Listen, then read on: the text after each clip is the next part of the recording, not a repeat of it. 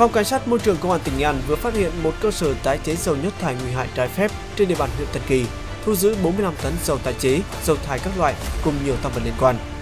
Cơ sở tái chế này do đối tượng Hồ Đức Sĩ sinh năm 1989 trú tại huyện Quỳnh Lưu làm chủ.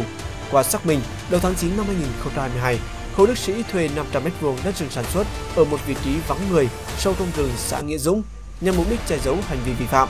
rồi đầu tư 900 triệu đồng lắp đặt hệ thống tái chế dầu thải, tổ chức thu mua dầu nhất thải của các cơ sở dịch vụ sửa chữa xe ở Nghệ An và Thanh Hóa, mang về trưng cất thành dầu tái chế để bán cho các cá nhân, tổ chức có nhu cầu.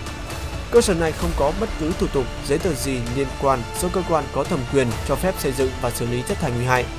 Qua kiểm tra phát hiện 3 xe ô tô tẹt tiếp nhận và vận chuyển 18,6 tấn dầu tái chế cùng 26,4 tấn dầu nhất thải, cặn dầu thải và dầu tái chế.